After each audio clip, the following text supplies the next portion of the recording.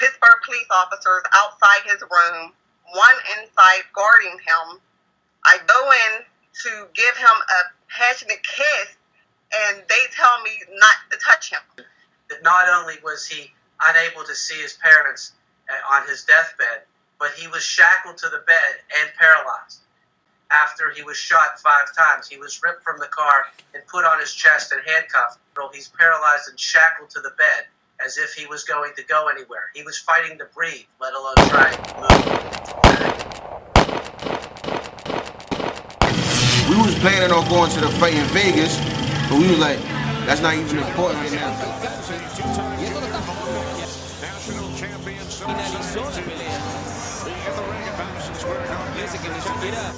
Fights here for close to a decade. And Eddie Gomez presented with his first pair of Golden Gloves, the winner of the 152-pound open division.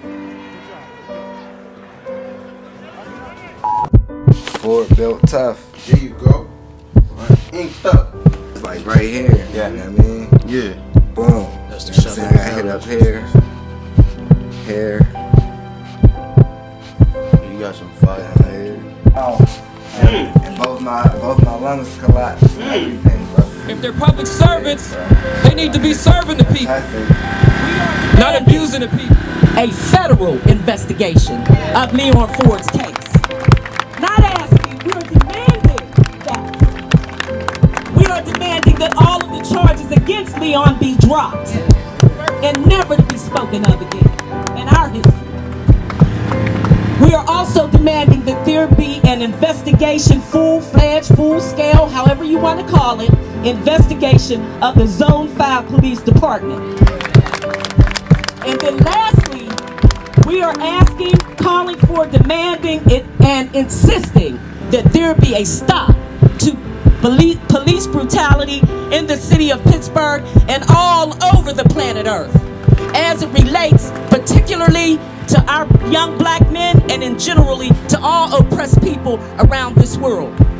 Leon. I mean, when it's time to reach out and get get out there to the people that, you know, need the help, we do it without a problem, without no questions, without thinking twice, without hesitation. I'm trying to have some picture to put myself in that position. Well, just imagine you in your car and you trying, you, you driving and the motherfucker right next to you just popping at you five times and you live through that?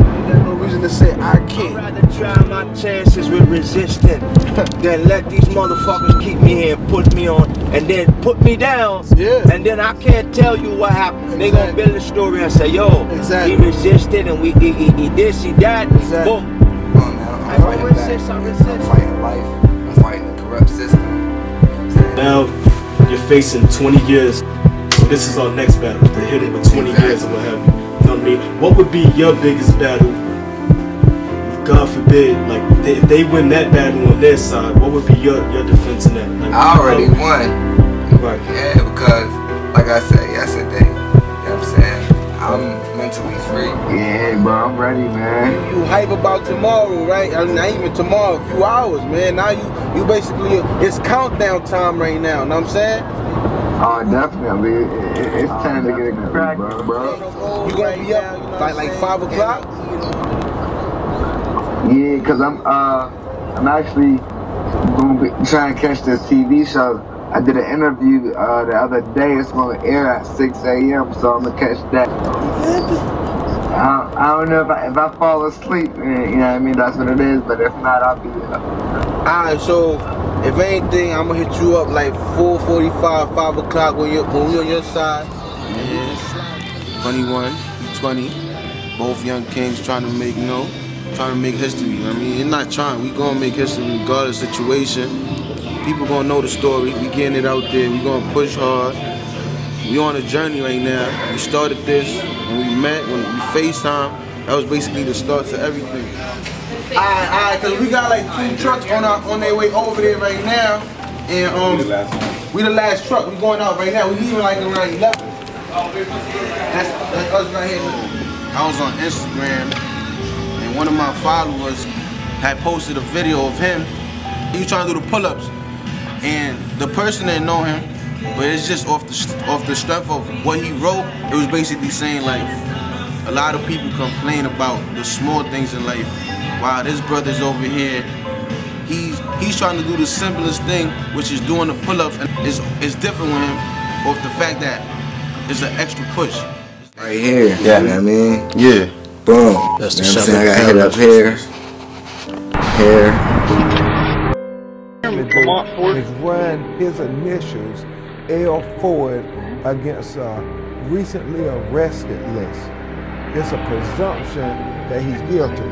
They want him to be somebody he's not.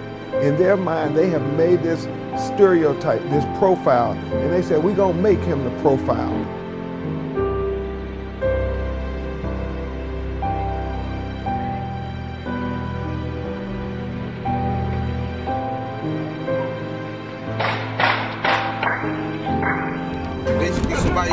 Cop car, female saying, "Yeah, I think that's him."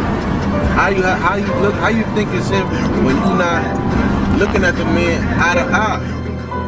And my brother was like, yo, look at this, look at this, look at this, look what they did to this brother right I was like, wow, what happened, what happened? He showed me the little footage, what the police did and everything. Joint touched my heart. And then just the fact that we knew he was into boxing and when he was young, he was like, look, I'm the next Mike Tyson, I'm the next Mike Tyson. All that touched my heart, man. So, you know, Eddie right here, which, you know, he's always thinking positive and always thinking of helping people. He was like, yo, bro, we need to link up with this brother. We decided right there, like, yo, we coming, we coming down regardless. We're gonna tell the guys in the team to come out with us. And you see on me here, Instagram and everything. We saw um his story and everything, and it really touched our heart. And um from there on, we've been supporting the brother. You know, I watched his story and I couldn't help but feel that, you know, that could be my son. I'm not your race, but I have a black son. And to see him in a chair like this would break my heart. Leon was a bright star from the day I met him. But what I know for an actual fact is that is just who he is. He is just a wonderful young man. And the night that I heard about what happened to him, it took my breath away. A lot of you are mentally paralyzed. And that's why I can sit here with my strong man. And I can keep a, a huge smile on my face. I don't I don't need y'all support. I need y'all to fight with me. I gave Leon my gloves that I fought with. I said, today ain't about me.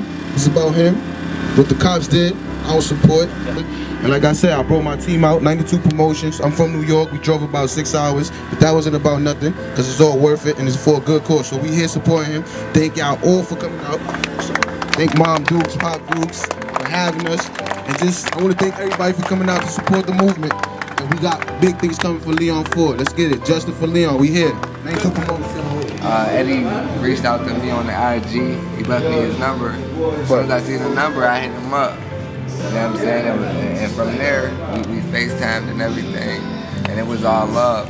The, uh, the thing that really touched me is um, I reached out to so many different people um, all over the all over the world, man. All, so many different celebrities and people would hit me back like, "Yo, your story's crazy," but nobody really went hard and, and try to help me get my voice heard. And bro, you know what I mean? He, he been pushing for me ever since we met on the ground. Yeah. just the fact that you took the time out just to be here, like you even like he, he said it himself. You just said like he reached out to major people and they said, oh this and this and that. But you actually came and appeared and showed up. That says a whole lot, man. That said that that says a whole lot, man. Like it, it, Yeah, love, yo. That's show him the handshake. All right, all right, all right, all right, all right, all right, all right. Right here, There's salute. always a hug after that. Love. Oh, yeah, Oh,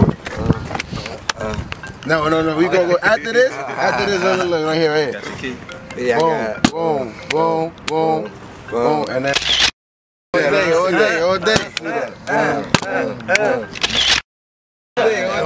Spent our own money, you heard? Spent some rented cars, hotels, 15 of us. Is people still texting me, they want to come up. Yeah, yeah, that's love, man. My brother. He just came from Philly. Oh, wow. What's up, Ak? What's going on? What's good? Yeah. What's the movement? All that. Like, Yeah. I told him like I'm fed up. You feel what Yeah, I'm saying? And yeah. it's more so of the shit that they doing to us, but Yeah. we gotta stand up. You Oh, feel what yeah, I'm saying? yeah. Like, They because if they see that we not unified, you know, they they gonna want us extinct. You feel what I'm saying? So. okay, okay.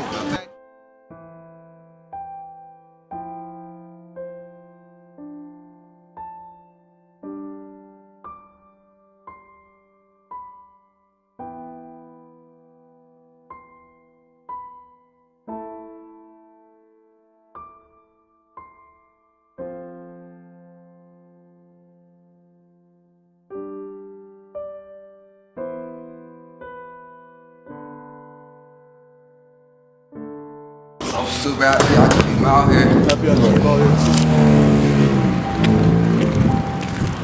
You know, since it's the type of shit that I, I live for, more than like shooting music videos.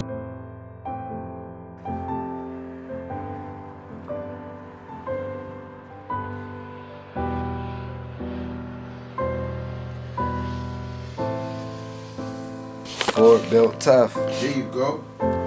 Inked up.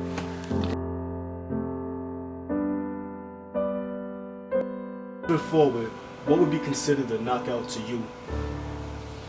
The knockout to, me, Yeah. uh, the ultimate knockout for me, What would that be the ultimate knockout? to raise my people up out of this living condition that we're in. Okay. as a whole. Ultimately, you know, a, a condition of life, it's, it's a mental thing. You know what I'm saying? So, like, for one person, it might- it might be money. Another person it might just be peace mentally. Mm. You know what I'm saying? So, when I say I want to elevate people and raise people up and uh, just uh, have people moving forward with, with life, you know what I'm saying? It- It's, it's all about the mental thing. Like I said yesterday, I'm, I'm paralyzed physically, but not mentally, you know what I'm saying? And a lot of people out here, they're paralyzed mentally. They're blind to the fact of the, the aspects of life, the reality of life, you know what I'm saying? They, they, they support